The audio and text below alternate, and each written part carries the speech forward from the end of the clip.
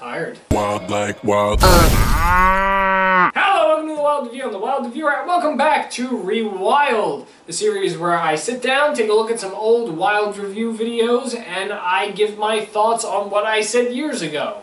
That's how the show works. Today I'm back in the black shirt that I wear when I sleep, and that's because we're taking a look at a Wild Review that I made very last minute. I remember when I did this Wild Review. It was filmed the second I found out about this topic, and it was uploaded, I believe, the next day. I don't think I edited it that night.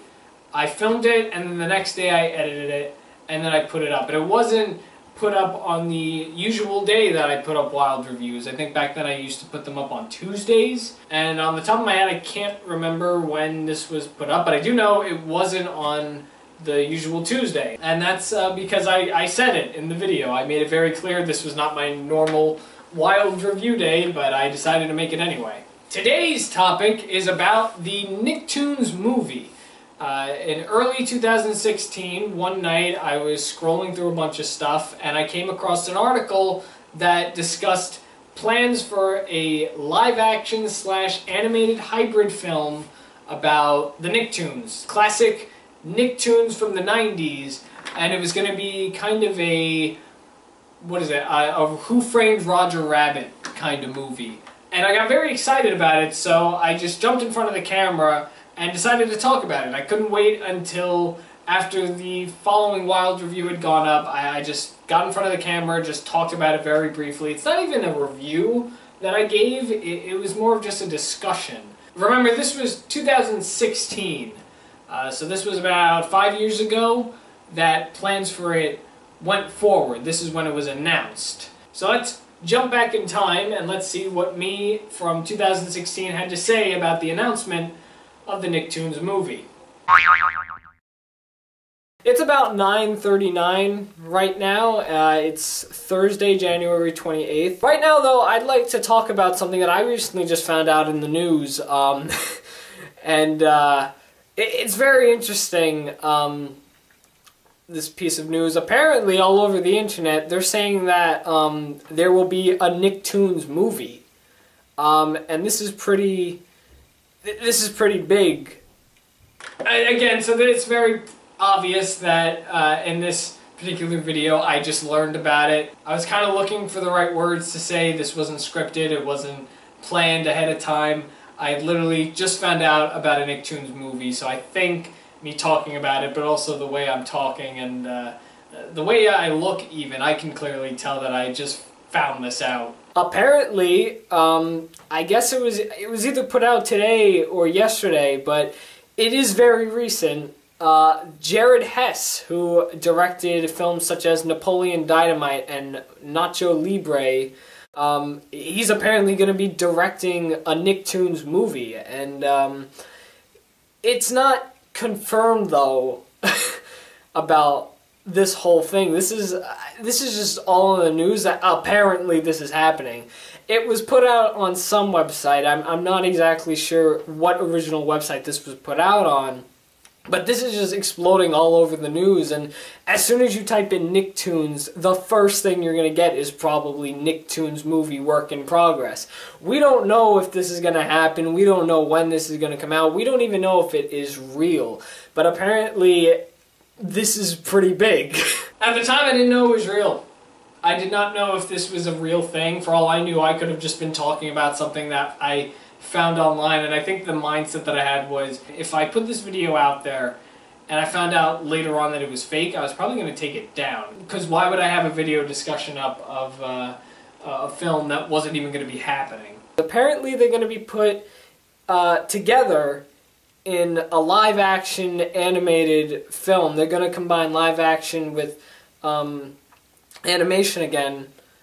Uh, I, I, guess that, the best way they put it on the internet is it's basically going to be the same thing uh, as Who Framed Roger Rabbit, if anybody has seen that film. If you haven't, I would recommend it. It is, is pretty great. I, I don't really remember it as much, but I remember watching it as a kid. It's, it's a fantastic film. I'd guarantee uh, you to watch it if you're bored one day.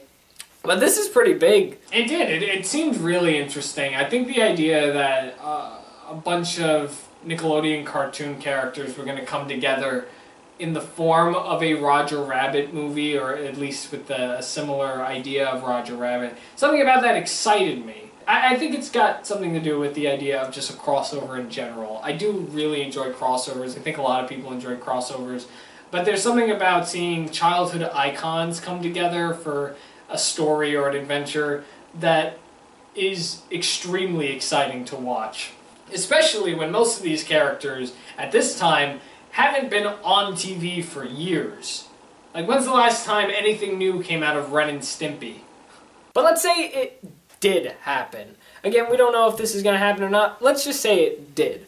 There are a few questions that I myself, and probably everybody else, are a bit concerned on. First off, are we including new Nicktoons? Because I wouldn't be bothered with it that much, but I don't know. It's just the new Nicktoons aren't that great. I've watched Sanjay and Craig, and it's nothing but fart jokes. I don't know what Pig Goat Banana Cricket is. I watched the first episode and wanted to throw up because that's what it looks like. And Rabbids Invasion, I thought ended three years ago.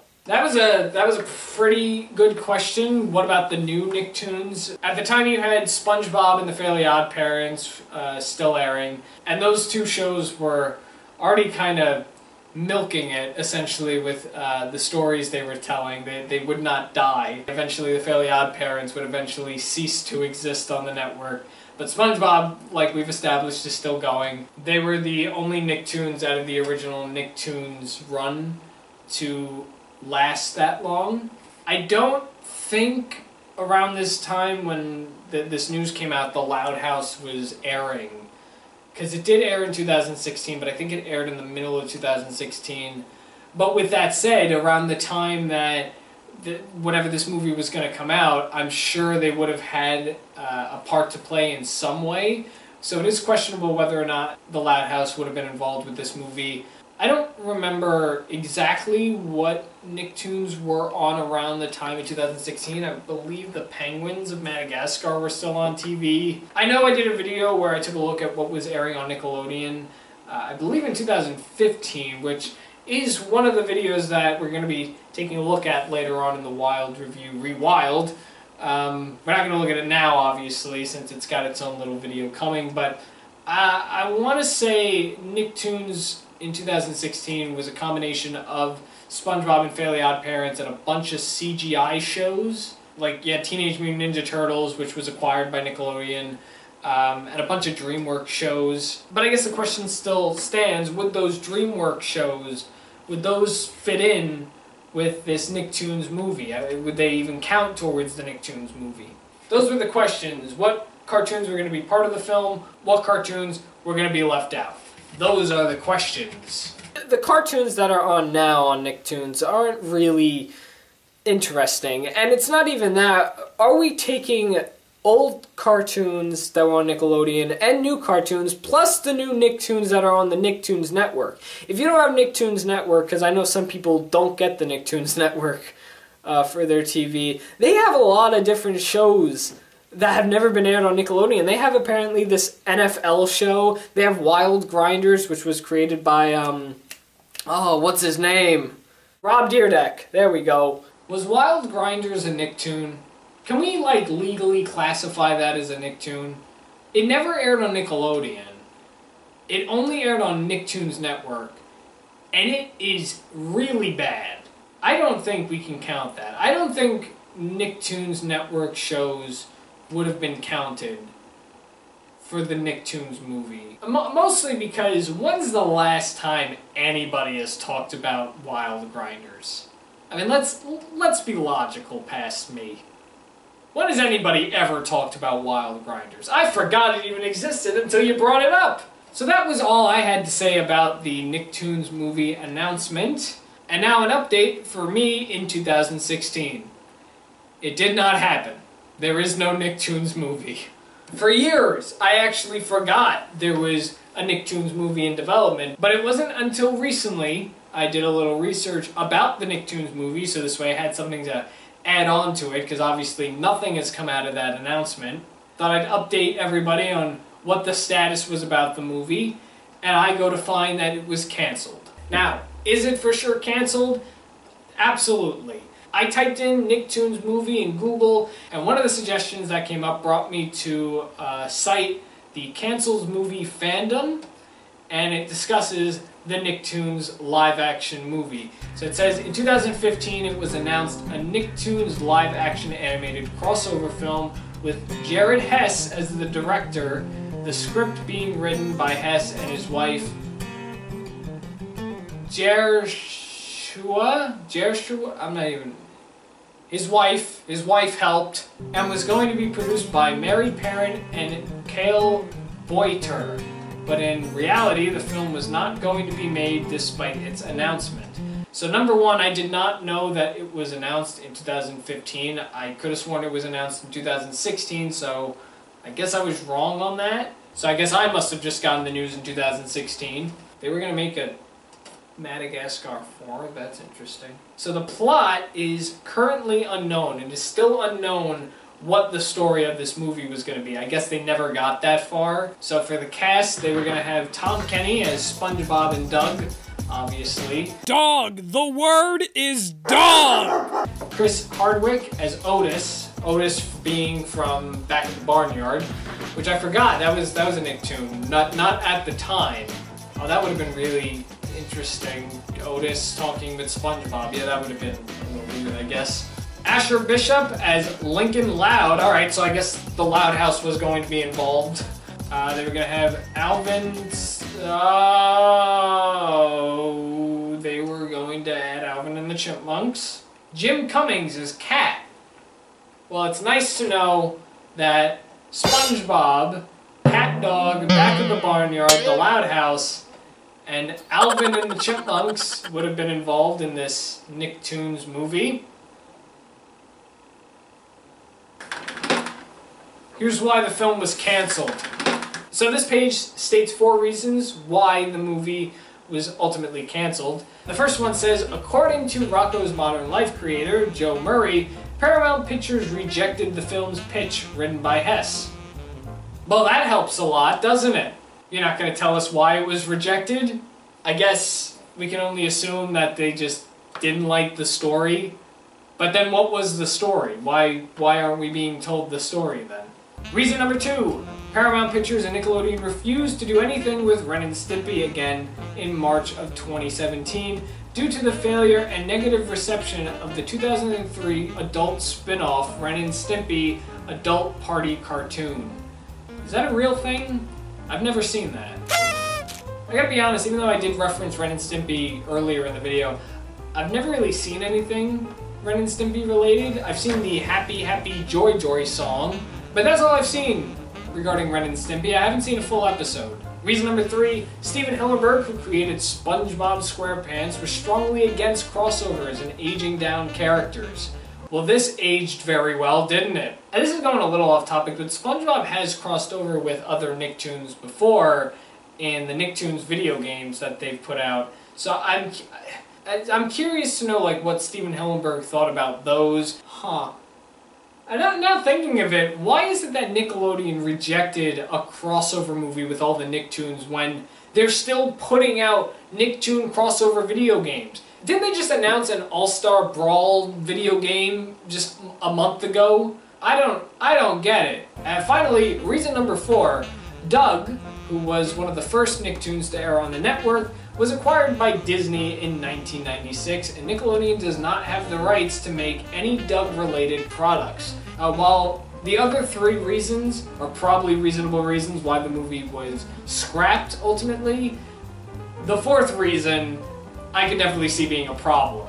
Like Ren and Stimpy, I've never seen Doug, I've never watched an episode, but I do know there are two different versions of Doug. You have the Doug series on Nickelodeon, which I'm assuming is the actual cartoon, but then you have Doug, which is owned by Disney. I know there's a, a Doug movie that is owned by Disney, and I, I think that's all that was acquired by Disney, just the Doug movie. I'm curious to know how this even happened. I guess I gotta do a little research on this aspect, but I'm curious to know why Doug, who once used to be owned by Nickelodeon, is now technically owned by Disney. Very curious. I'm a curious boy to know what happened to Doug.